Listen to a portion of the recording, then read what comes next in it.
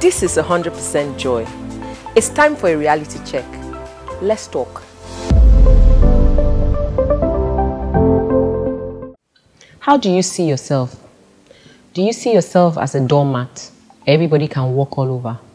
Or do you see yourself as an exotic island? People have to put in the work to get to. This was a statement a friend of mine made to me years ago, and it stuck. The truth is, people treat you the way you treat yourself. Your actions towards yourself is what you project on others. When you treat yourself as second, when you put yourself in second place, people will put you in second place because that is what you've led them to believe. A lot of times we grow up to become people pleasers because it was a defense mechanism we used as children. You know, we try to please our parents to avoid punishment or to get their validation. But as we grow up into the real world, it now doesn't work as a defense mechanism anymore. It becomes something that actually plunges us into deeper problems. Now, there's a difference between people pleasing and kindness. When you're kind to people, you don't expect anything in return. But when you're a people pleaser, you go out of your way to please people because of what you will get in return, or because you want their validation in return, or you want a pat on the back in return. Now, when you don't get that, or you don't get that acceptance, you become bitter and resentful. How do you know you're people pleasing? We'll talk about it when I get back. How do you know you're people pleasing? You know you're people pleasing when you cannot say no to anyone. When you say no, you feel guilty. You feel like the whole world is coming to an end. You know you're people pleasing when you go out of your way to please people even when it's not convenient for you.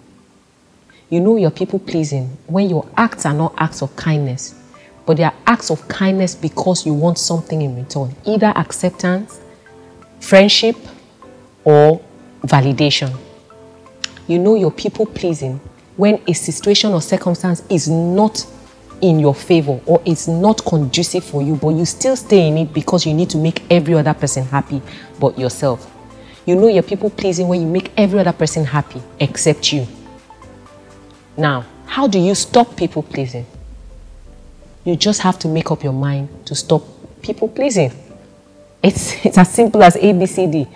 You just have to say no. No has to become your favorite word. When it's not convenient for you, then say no. When it's convenient for you, by all means, go out of your way and be nice to people. Don't keep company of people who take advantage of the fact that you're kind or you're nice. People who want to walk all over you or take advantage of the fact that you go out of your way to be there for others. You don't need such company. Don't keep company of people who walk all over you, who feel that you're a doormat and you should be walked all over. You should keep companies of people who treat you like royalty, who treat you like the queen that you are, who, who treat you like the king that you are, who understand your value. It's important that relationships are value based. If people don't value you, you have no business being in that circle or in that relationship or in that friendship. It's important that you understand that it's how you present yourself, people will take you. So it all starts with you. It's important that the decisions you're taking are in your own best interest. Don't go away. When we come back, it's giveaway time. Okay, so it's time for our giveaways. And today I'm giving out something that I know a lot of you will find exciting. I decided to give out cash today. So I'm giving 10,000 Naira to five lucky winners. So you know the drill. Hit me up and let me know why you deserve the 10,000. And if I feel that whatever you're using it for is productive enough, then that money is yours.